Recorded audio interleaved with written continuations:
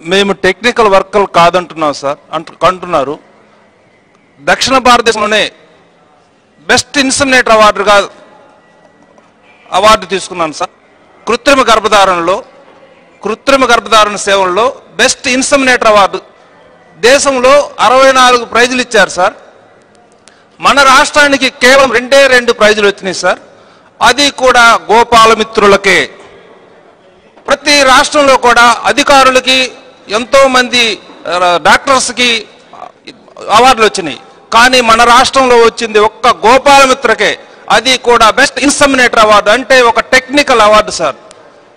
ఇంత technical award తీసుకున్న మాకు మీరు టెక్నికల్ కాదు అంటే అది ఎంతవరకు ధర్మం సార్? చేయించుకున్న అధికారులే.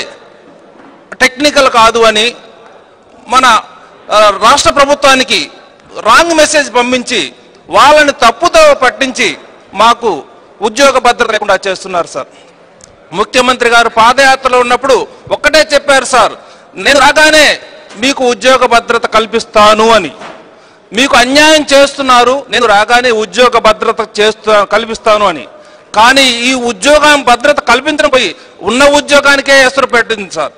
కానీ ఇది కోల్డ్ మర్డర్ సార్. అగ్నిలో వేసే మర్డర్ కంటే కూడా కూలింగ్లో వేసే మర్డర్ జరుగుతుంది సార్ గోపాలమిత్ర వ్యవస్థని అగ్నిలో వేస్తే మీ బోటో వాళ్ళు ఏందయ్యా అగ్నిలో వేస్తే కాలుస్తున్నారని ప్రశ్నిస్తారని కూలింగ్లో వేసి చంపుతున్నారు సార్ వీళ్ళు. ఇది చచ్చిపోవడం మాత్రం పక్క. మేము ఎల్లంటూ ద్రావకంలో వేసి చంపుతున్నారు సార్ గోపాలమిత్ర వ్యవస్థని. అడిగితే ఏం చెప్తారు తెలుసా? గోపాలమిత్రులకి సార్ మేము కూలింగ్లో పెట్టాం సార్ అంటున్నారు. కూలింగ్లో పెట్టే అతి కూలింగ్ కూడా ప్రమాదకరమైనది మనకి ప్రభుత్వానికి చెప్పలేకపోతున్నాం సార్. అతి కూలింగ్లో పెట్టి చంపుతున్నారు సార్ మమ్మల్ని.